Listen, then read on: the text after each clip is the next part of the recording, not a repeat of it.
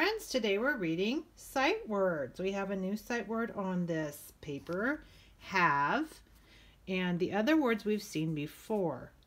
So when you read your sight words, whether, whether or not they have a capital letter, like in the word this or the word here, you should still pronounce them the same.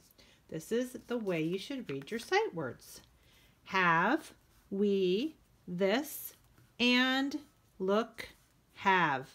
This, have, we, look, off, this, we, is, go, have, like, she, have, my, we, and, this, we, look, off, we, have, here, go, look, we, have, we, off, look, have, we, look, she, and, go, we, she, have.